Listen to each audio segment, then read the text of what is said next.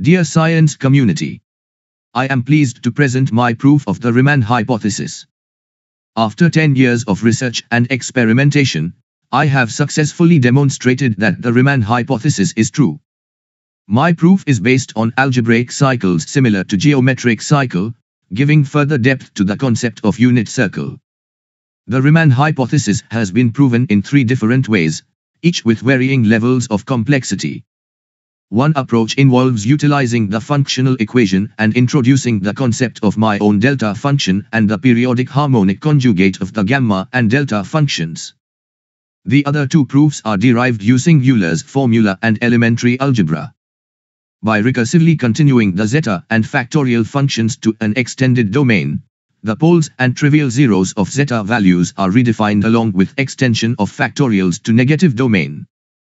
Furthermore, other prime conjectures such as the Goldbach conjecture, the twin prime conjecture, other numerous number theory problems have been proven based on the new understanding of primes and numbers as three-dimensional entities, as elucidated by Hamilton's four-dimensional quaternions.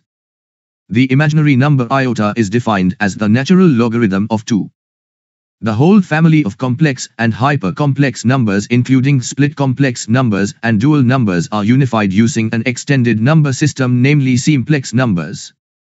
Negative logarithms are also redefined in line with real logarithm. Additionally, the factorial of negative and complex numbers is redefined through the use of the gamma and delta function and the periodic harmonic conjugate of the gamma and delta functions. The Riemann hypothesis is one of the most important unsolved problems in mathematics. Its proof has eluded mathematicians for over a century.